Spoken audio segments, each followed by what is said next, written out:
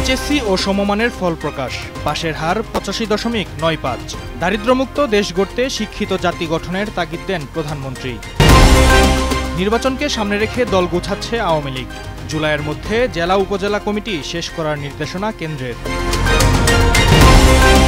ঘুরে দাঁড়ানোর প্রত্যাশায় মালয়েশিয়ার শ্রমবাজার। দুর্নীতি আর সিন্ডিকেটে বারবার বাধা। এবার সহজ হবে আশা সংশ্লিষ্টদের। ময়লা আর আবর্জনায় চেনা দেয় যাত্রাবাড়ির দেবধোলাই খাল, মশাই অতিষ্ঠ বাসিন্দারা, নির্বিকার সিটি কর্পোরেশন। তুরস্ক সিরিয়ায় ধ্বংসস্তূপের নিচে কেবলই লাশের সারি, প্রাণহানি প্রায় নয় হাজার। চরম পানি ও খাদ্য সংকটে জীবিতরা।